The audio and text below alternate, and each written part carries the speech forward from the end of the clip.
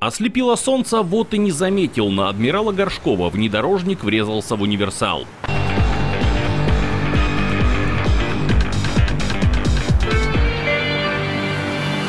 В вечернее время автомобиль Nissan Safari двигался по улице Адмирала Горшкова. Водитель внедорожника направлялся в сторону улицы Русской. Впереди него ехал универсал Toyota Caldina. Перед светофором в районе 24-го дома водитель нажал на тормоза, едущий следом Nissan Safari остановиться не успел. Что рассказать, солнце в глаза, он тормознул оранжевый, думал проскочит, но я и заехал в него. Всё. Ясно, что Даже, ждете. даже тормозить не успел, да, и уже вызвали. По Еврику не хочешь?